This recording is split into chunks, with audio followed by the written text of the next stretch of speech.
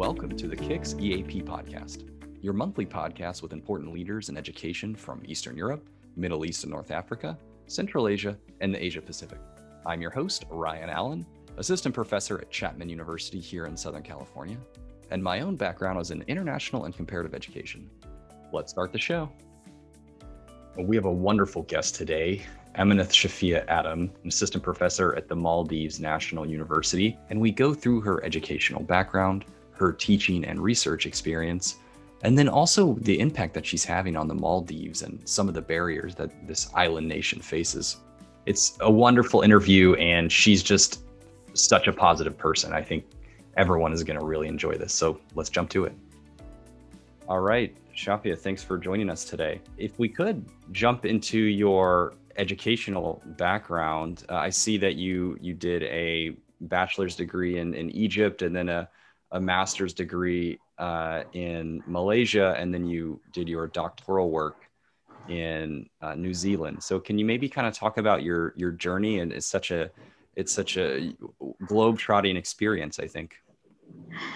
It's very true, Ellen. Actually, um, I when I recall back how I actually started my education, it was very very interesting. Like I had my um, education at the early stage in Arabic medium, which I had my school in uh, up until secondary. Uh, I completed an Arabic Arabic school, and then I got the government scholarship to um, to study in, in Egypt. And that's that's normally given when um, high achievers uh, for high achievers. So i was very fortunate to have the government scholarship and then um, what i studied was um, uh, teaching. So I, I became a teacher. I had my bachelor of education there.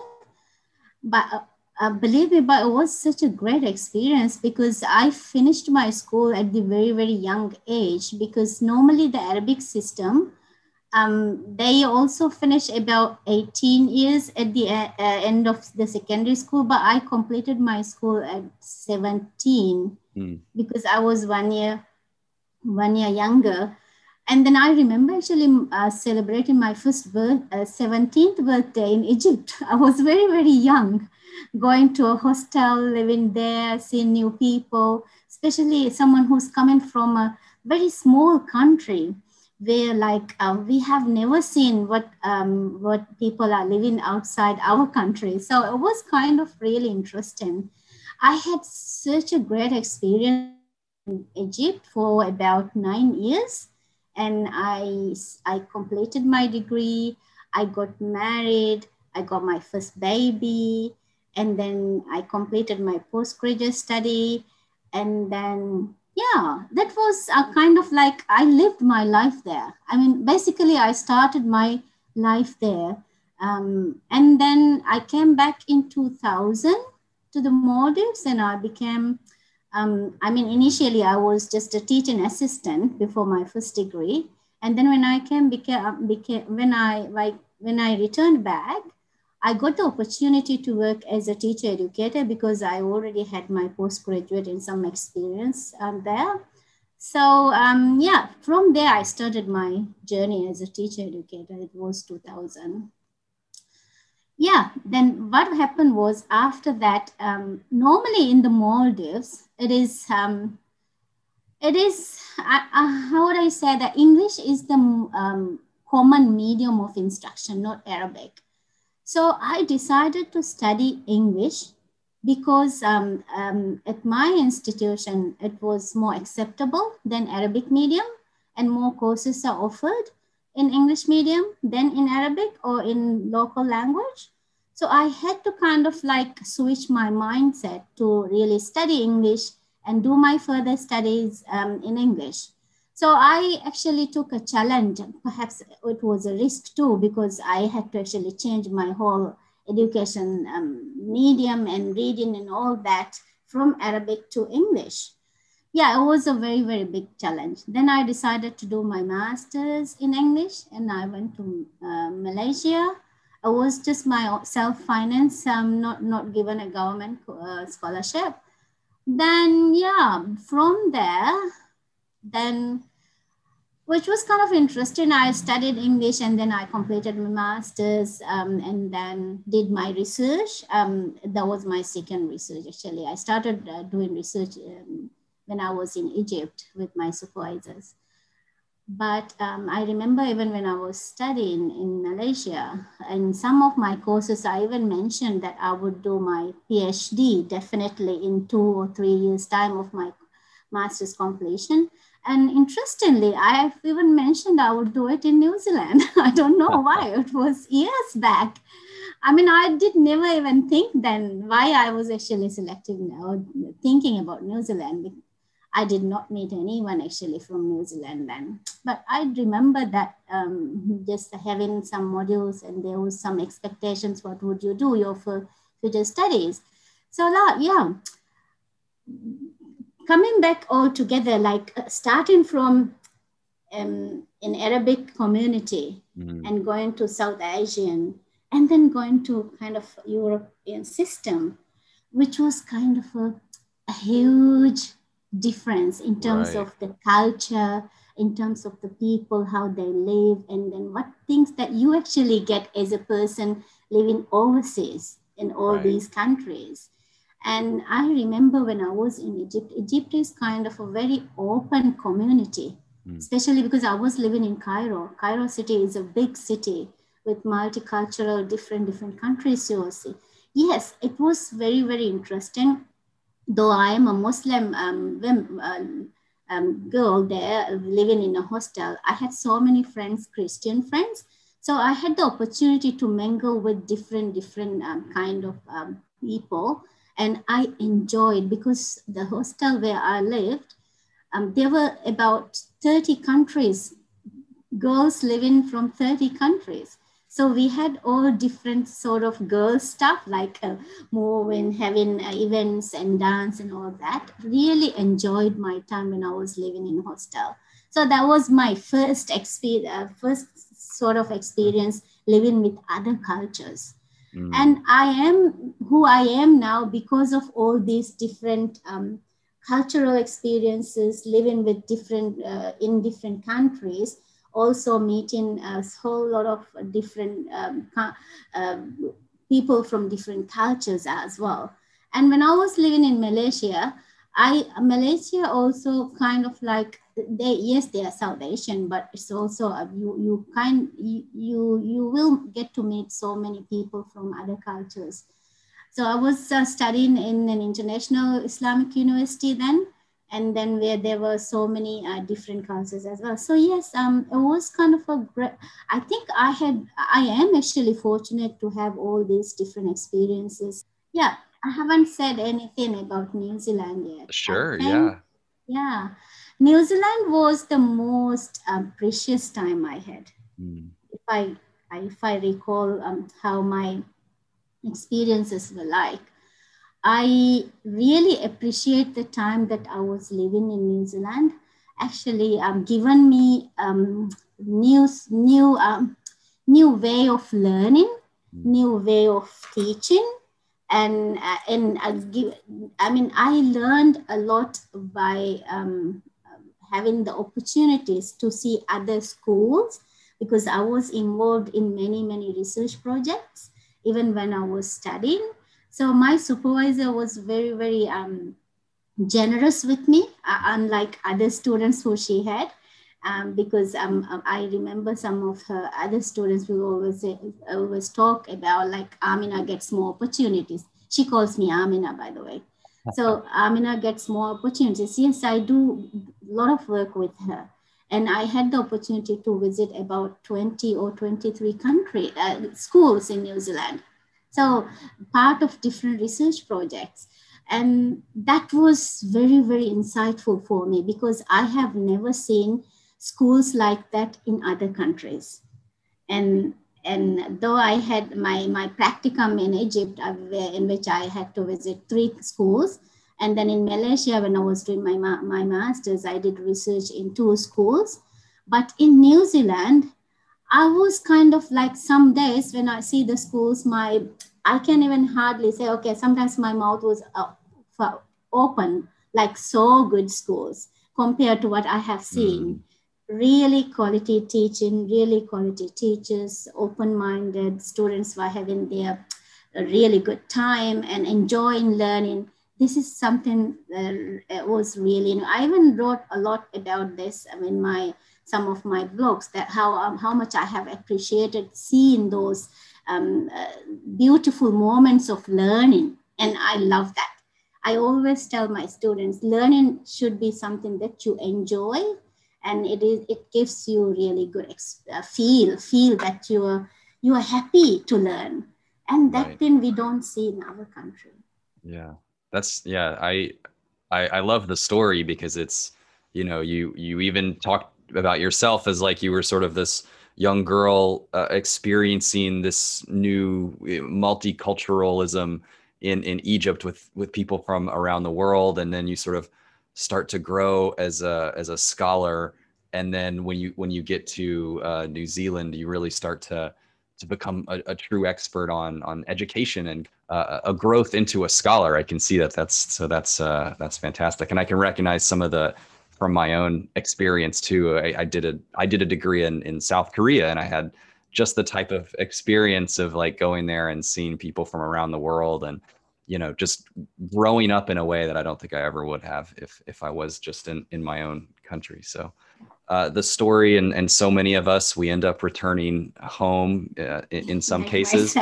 right right. So maybe can we can we talk about that? Uh, right now you're an assistant professor uh, at maldives national university. So can you kind of talk about uh, the university and maybe the the program uh, what you know who, who are your students? Who who are you passing this this experience to? And and sort of what, what are they hoping and what what are they looking to go do? I always loved actually talking about um, learning because i i talk to my students like learning is always something new. I i tell you should appreciate every moment of learning because that is not something you can always catch you have to catch it at the right time so yes, um, why did I come back? That's a very big question. I mean, I I was a resident in New Zealand. I had the PR, so I was living there, and my son is still living there. By the way, he's working, and yeah, so he didn't come back with me. So yes, um, I was working in different research projects, and then I felt like my country needed me and then so many people were asking why I am coming back since I don't have any young children. I could just do a whole lot of work if I come back to the university where I was working earlier. I mean, um, I, I, had about um, 10 years of experience in the same university before I went to my PhD. So I loved actually, I loved the university and I really wanted to come back and do uh, some work, especially um, in relation to research, because I feel um, the Maldives really need people um, like us, especially those who can uh, contribute to the um, and return back what that what the country has given them. And this is something I even I was in, in New Zealand. I always talk and encourage people if you get the opportunity to go back, especially um, when you have when you don't have that much family responsibility, like your children have grown up and you were kind of sitting there and doing work for maybe I don't want to say other countries, but for another community which was not your origin. Yeah, but if your country needs you, I think you better be back. And and I felt at some point my country needed me.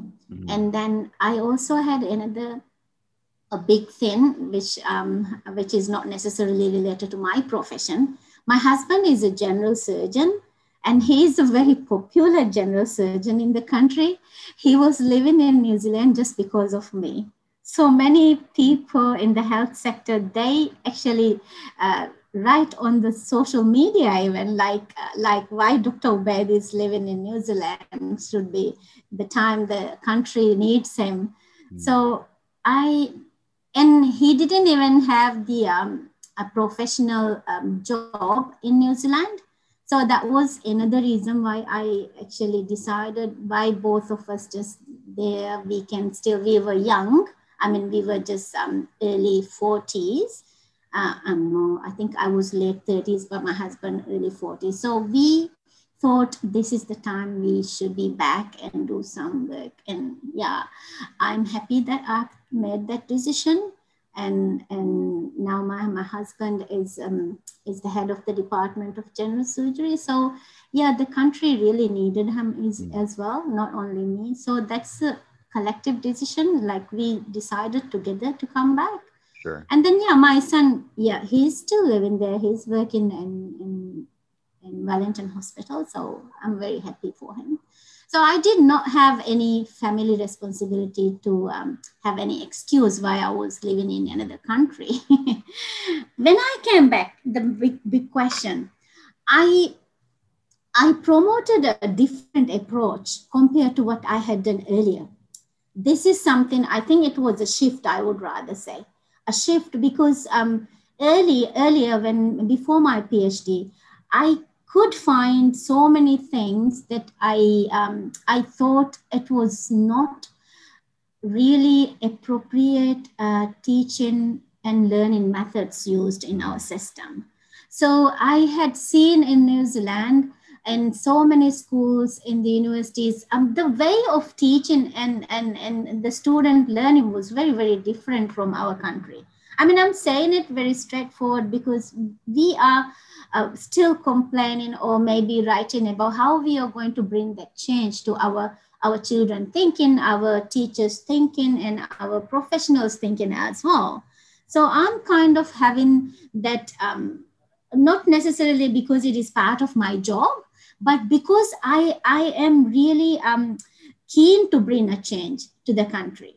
So I write so many things on local newspapers. I give, uh, I, I participate in so many panel discussions because I wanted to, I am really um, wanting to bring a change to the whole culture, mm. the learning culture, the professional teaching culture. Right. So some of the things that I still have in mind is I might be one of the person who can really contribute to bring that change.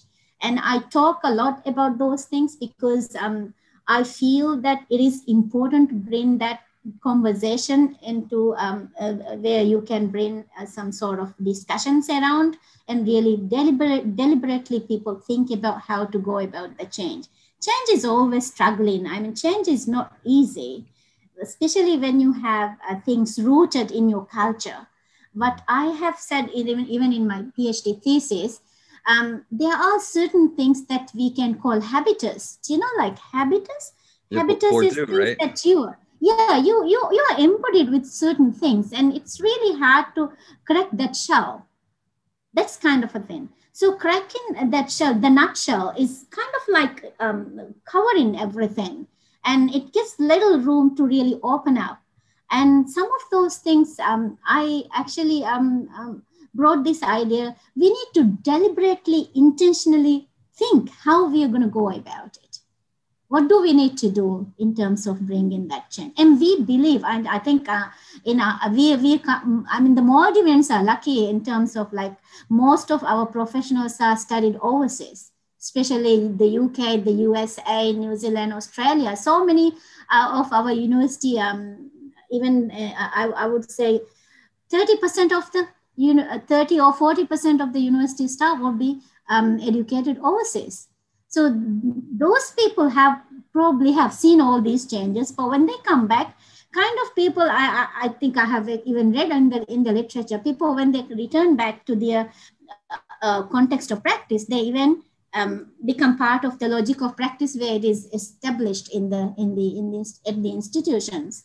So that happens. But if someone really know or really want brain a change, you have to go with your thinking rather than going with, with the, what do you call it? Um, you know, the, the place has a specific logic of practice, but if you think that that is not the right way, you should start thinking about what to do um, in order to bring a change. Yeah. Right. So, yeah, I feel a lot of things need to um, uh, really rethink, uh, not necessarily completely change, uh, change, but reimagine and hmm. rethink. Mm. Yes, I would sure. rather use that one. Yeah. Sure. You know, I I really appreciate you sort of talk about this idea of you know you you go to the the public media and you're sort of talking and bring your research uh, to a wider audience because so often in academia you know we publish it in a journal and other academics read it and you know only a few people who specialize yeah. in something might read it but if you're if you're going on to newspapers and, and panel shows and, and things like that and and talking on social media the the regular people will see it and, and understand it and i think that's that's just a mm-hmm. fantastic way to to approach our our scholarship to bring it out of the quote unquote ivory tower i think yeah i, I could share with you one example sure. of some of the things that i do um, even um, call uh, TV channels like I wanted to give this particular program. Uh, just give me about five to seven minutes from your program so that I can talk about research and research um, the, the, how to how to how to make people thirst for knowledge and research or really um, establish that culture in the country. So some of those uh, programs that I have started actually working with other people um, in in Raajje TV channel, for example, I've mentioned in and some uh, other channels like PSM, uh, that is uh, public service media. So all these channels, I personally, it's not part of my job because right. I really want, this is something that, uh, what I think um, um, an obligation or what I call a responsibility because I'm a Maldivian. I also had the opportunity to live in other countries. I, I did have options uh, not to return and I don't necessarily need need to come back and stay in the Maldives, but I came because I wanted to return back to return back something um, that I had um, in, um, the experience or the insights that I have. I really wanted to share and then bring that to our culture. And some of those programs are um, related to how to do research, and there are very few people. This is something um, I think I would say um, very rare. Um, not many people who are educated, they give uh, uh, so much um, knowledge or discussions in local language. Mostly they will speak in English and they will also uh, write in English. They will do all the things in English. But there are so many people who are not um, who I would say not not uh, obviously the local language it would be the first first um, first language for them. It will be easier for people to really understand things. So I had this approach. Um, always, I'll say, if you know something, uh, even if you studied in English or in Arabic, if you really know what you have learned, you should be able to deliver it in your local language. And that is my motto. So if you're good at something, you should be able to talk about it in your local language because it's it's something important. If you don't do that, your language is going to, it's not going to be there. It's just going, because especially countries like the Maldives, where the whole system is English medium, our children, we are struggling actually to, to make our children love the local language. They don't love the local language. And something that I started working on it um, even in my family, even with, with, with the student teachers that I talk to, I always tell, please make sure your children, when they're young, don't speak to them in English because you, you are really um, um, forgetting about our, culture, forgetting about our language. They will need it. It's a heritage, it's a country heritage. You should not leave it like that. If you don't protect the language now, you are not going to do that later. Mm-hmm it, it, cannot be done when you when you think okay something is happening to our language and then you decided to do something and it can be fixed. No it cannot be done like that. So you should be doing so many things along the way as you develop children or as you raise children. You have to really um, let focus them and give them opportunities to speak in local language as well. So some of my articles are related to how to make our children learn the language because our children they don't speak in local language now. Mm. they don't speak which is very sad. And i believe part of intelligence is also having having the ability to uh, be communicate in multilingual if you are living in a multilingual context having the ability to communicate with different languages adds something to your intelligence as well. Because it helps you to think more much broader than ra- rather than thinking with one language so I always tell the parents, do not restrict. Don't don't don't think that if you let your children speak in in the local language, it will um, influence or impact on um, their improvement of English. No, I don't think so. and mm. literature has actually shown us first language is the most important thing and then you can develop the second language and or parallelly you can do that so that is my thinking i write a lot about how um, how to really um, help children learn language though i am not a linguistic because i love my language. Right. Yeah. That's i mean that's important uh, if you, you're talking about culture and, and heritage and you know that's not that's not something that you can you can just work out in, in a book. That's something that's part of the fabric of, of society. So yeah that's that's important. Um, how about your students? Are they are they training to go to be teachers or what what kind of professions are, are they going in to do yeah most of my my student teachers um, i teach some of my courses are early childhood some in primary um, a, a few in secondary teachers, but because I work in the educational department, which mm-hmm. which which we call um, all the core subjects related to teaching and pedagogy and all that are under our department. So we call educational department at the Faculty of Education. So most of the subjects that I teach are related to teaching, teaching per se, like um, um, instructional psychology, developmental psychology, classroom management, um, uh, curriculum studies, um, teaching pedagogy, and then um, ICT in education, and then, yeah, um, sociology of education. I teach all these subjects because I I started working even in 2000. I started uh, teaching many, many subjects related to um, teaching field, the, the education field. So um, even when I returned back, I always say I I love to take some uh, courses from the um, what do you call it first year or second year hmm. because that's where you can start in building some of the principles of teaching. mold yeah. mold them there, right? Yes. So yeah, student teachers, I love to have the first year batch one course, and then maybe if I have if I have time, I take another master's course because normally I will have about two PhD students. So the, I mean, I don't necessarily think that I should be just focusing on higher level because um, I feel that um, the first year and the second year students will be also really important, especially because I am a kind of a teacher, love to have the conversational teaching, not like a really lecture um, because that's me. And my students actually love my classes, whether face to face or online. And I, because I enjoy teaching, and it i not necessarily i'm a teacher by profession i remember when when i was very very young even when i was in the secondary school i always say i wanted to become a teacher. I mean uh, there, there was no other other thinking that who i am going to be even when i was young. So teaching is like a part of me. And then and teaching any year group is another interesting thing. I feel even my my family would say like the younger children when they have interaction with me, I will start teaching something and they will enjoy. And that is something like, um, I don't know, a, um, um, a gift that I am lucky to have.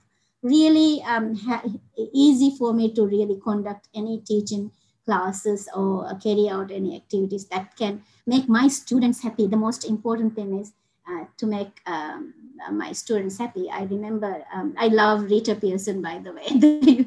she, you know, uh, she has given a very famous popular talk that, yeah, children can be champion if you make them feel champions, right? so I, I, I have that motto always. I, I tell my students, you should actually think always positive about your, your students because you can make them champion if you think they are mm. champion, if you can make them feel champion so it is about the students. So I teach my student teachers to take that motto in their mind.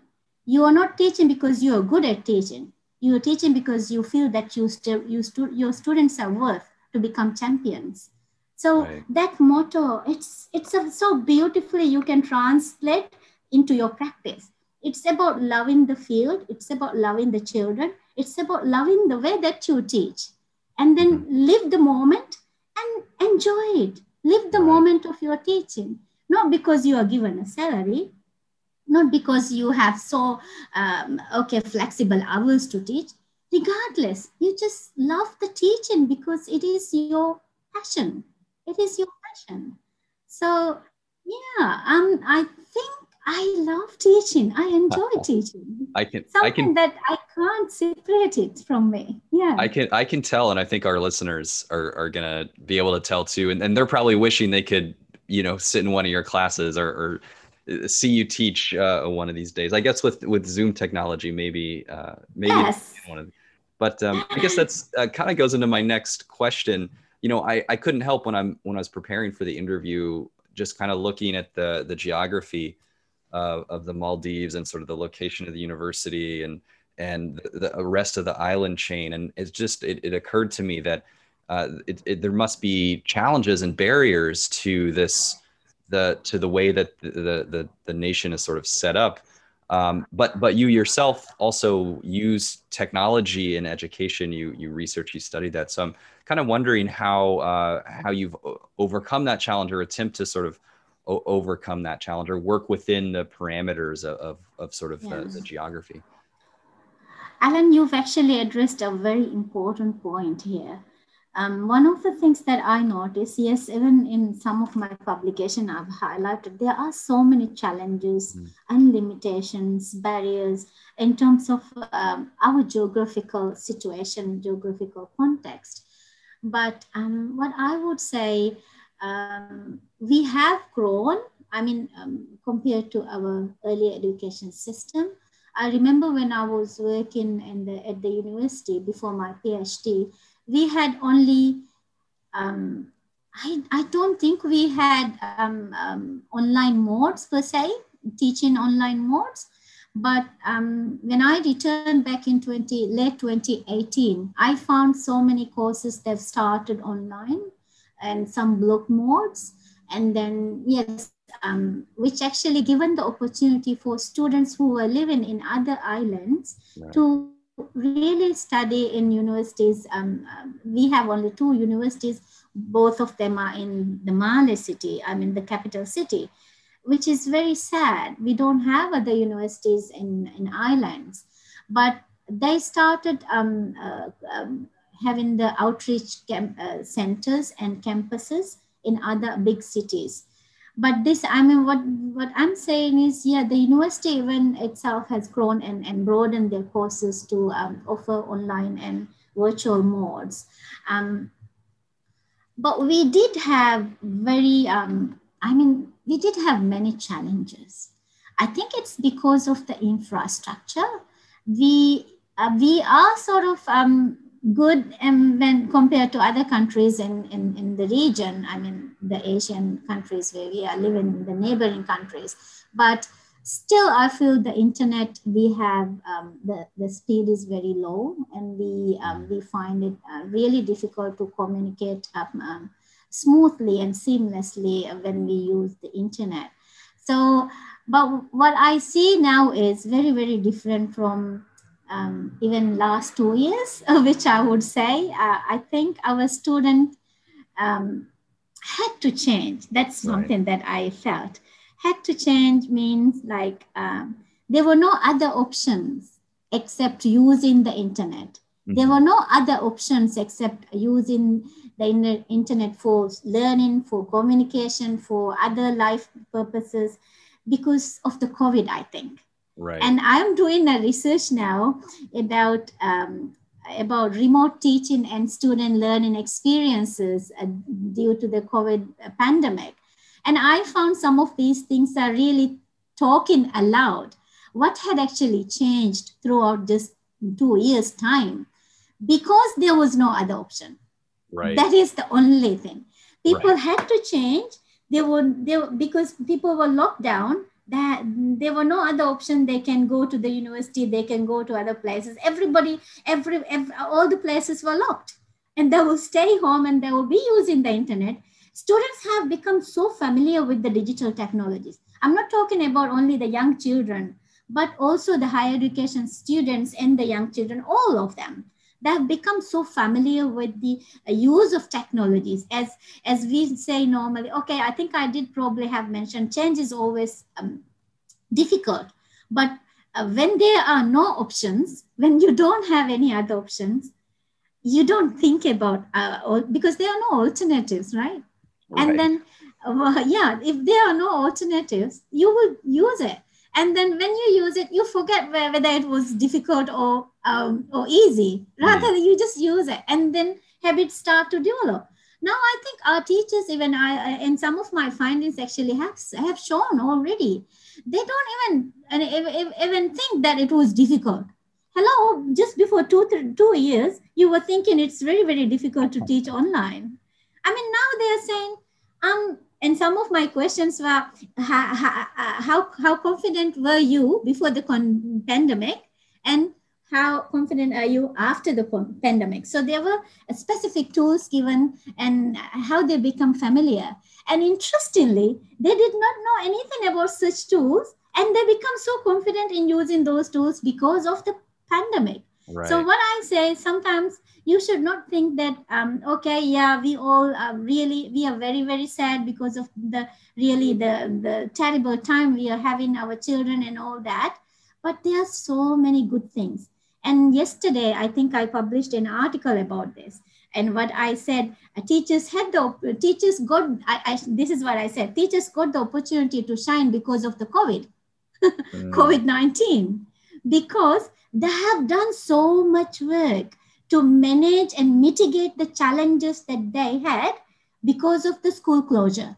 And teachers right. learn to use technologies, they learn to engage students, they learn to make uh, um, the home setting a comfortable place, and talking to parents and really bring them to the page to um, manage the learning situations for the children. These are things that we have never seen schools they had only about parents meeting earlier.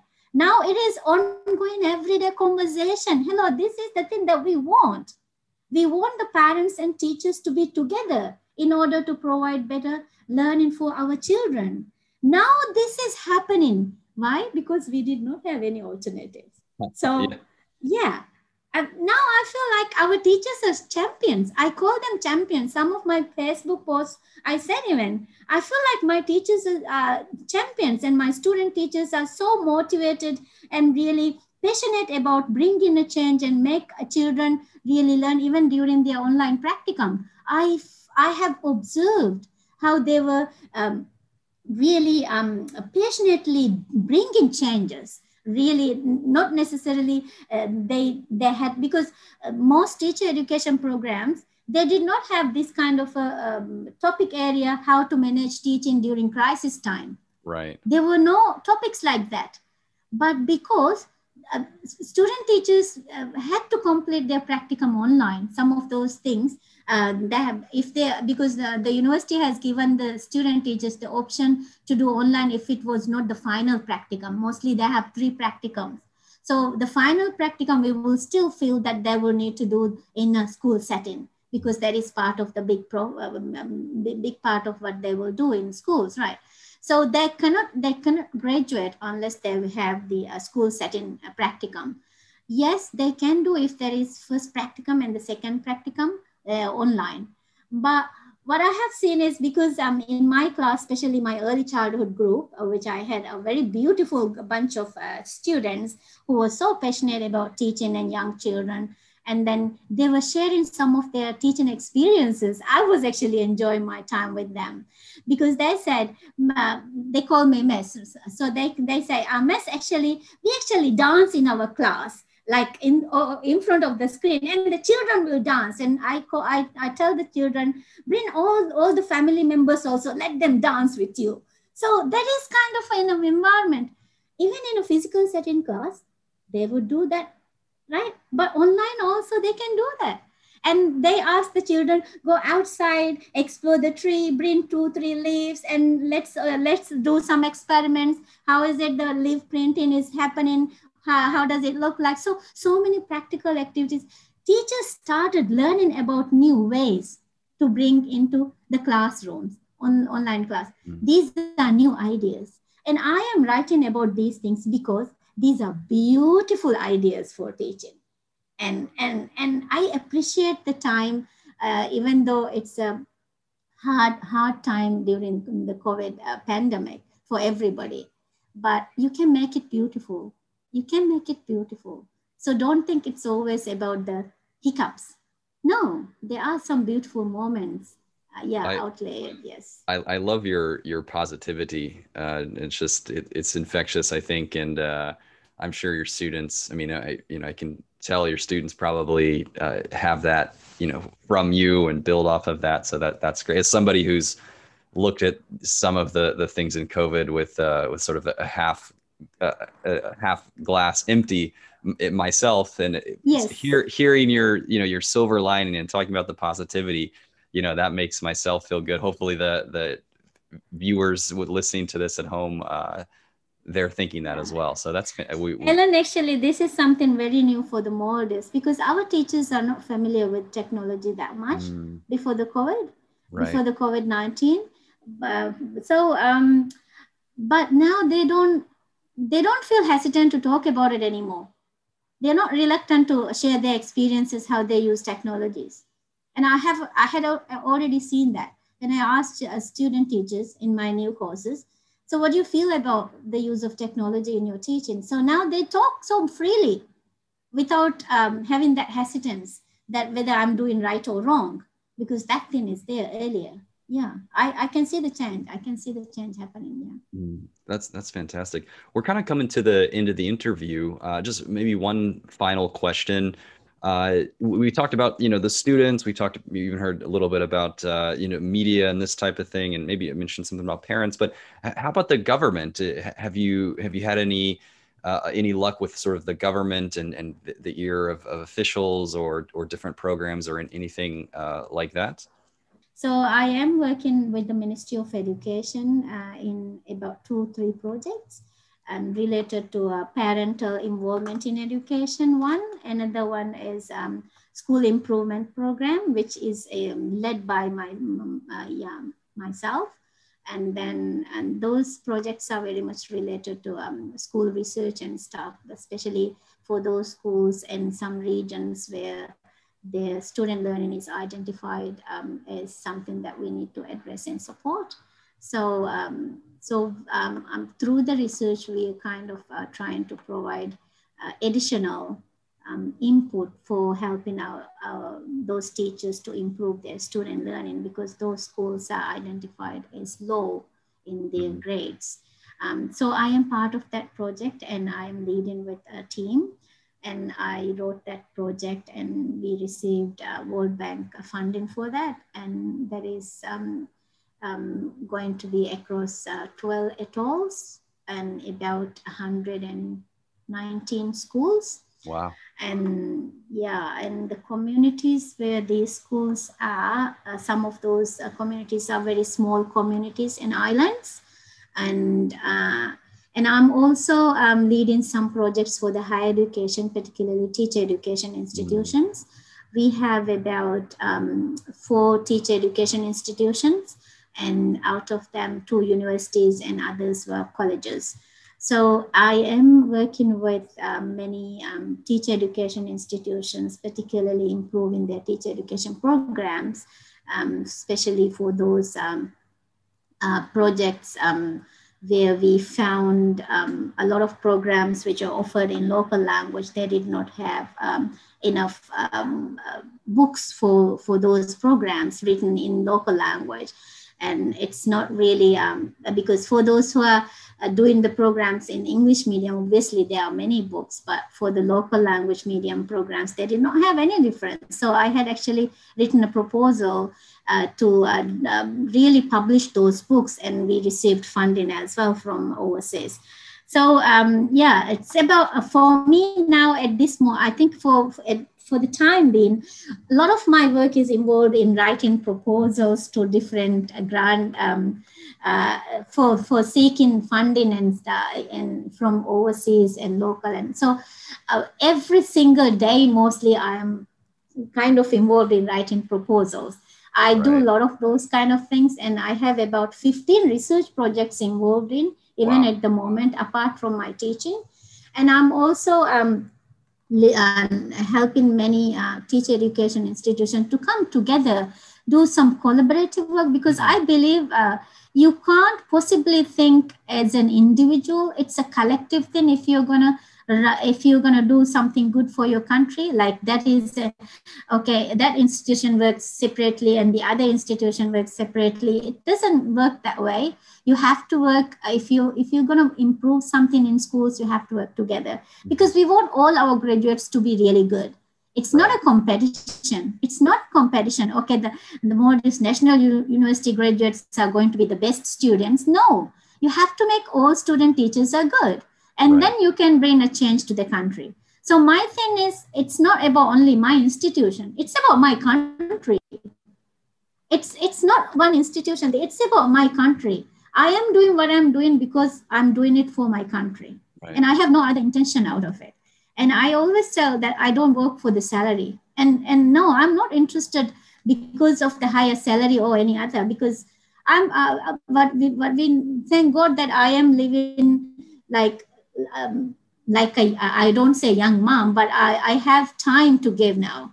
I have, um, um, okay, I have experience to share. And this is the time where that I feel do, do big things. It's not just go with single institution or single group then, rather the big, uh, big ideas that you can bring to the country. So my message for, for all the people who are like teacher educators, I always tell, let's do things together let's do collaborative work. So I invite people to be part of my research projects, and I'm doing a lot of uh, uh, many research projects with other universities as well, because I feel that it's one one space that you're working together because your aim is one.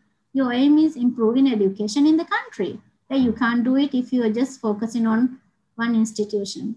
Yeah, that's what I'm. Just from this interview, you you you have sort of you're working across the society and all the different sectors from the the people and sort of the, the the regular people and across the islands uh, to to the government. So it's just great to hear, and I, I I really love your attitude about about the whole you know way of teaching. It's just positive and inspiring. So Shafiya, thanks for uh, joining us on, on, the podcast. We really appreciate it. Yeah, yeah. And I would like to add something. I always sure. tell people you have to you have to take initiatives. Mm. Don't wait for someone to tell you what to do. You know what you need. You have you have a target to reach. Then you take the initiative. Don't ask uh, whether it's okay or not. You go for it. Check how it's going to work for you with your with your main target. Yeah, I am trying to establish a research culture in a good school, good school learning. What I say, good teachers, and that is my aim for our country. I always say my country. Yeah. Well, there's no doubt, you know, from, from talking to you that, that you're going to, you're going to get that goal. So uh, we'll look forward to, to follow your career and, and maybe uh, back in the future. So thank you. Thank you very much for joining us today. Thank you very much, Allen. And this concludes our KIX EAP podcast, which is released every first Wednesday of the month course, the opinions expressed on the KIX EAP podcast are solely those of the host and the guest. The KIX EAP podcast is made possible by KIX, which stands for Knowledge and Innovation Exchange. KIX is an initiative of the Global Partnership for Education. Globally, KIX is administered by the International Development Research Center in Canada. NORRAG in Geneva hosts one of the four regional hubs of KIX. Thanks for listening. Find us on the NORRAG or GPE KIX websites. You can subscribe to the KIX EAP podcast, newsletter, and webinar series, and also learn about KIX global or regional projects. Additionally, you can subscribe directly on Spotify or SoundCloud to receive notifications of the new monthly podcast episodes.